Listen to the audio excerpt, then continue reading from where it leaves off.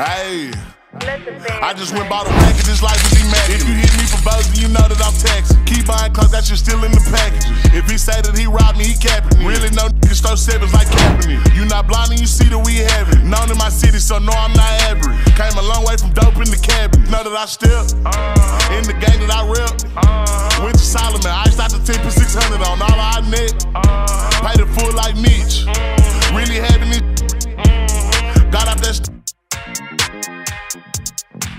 あ!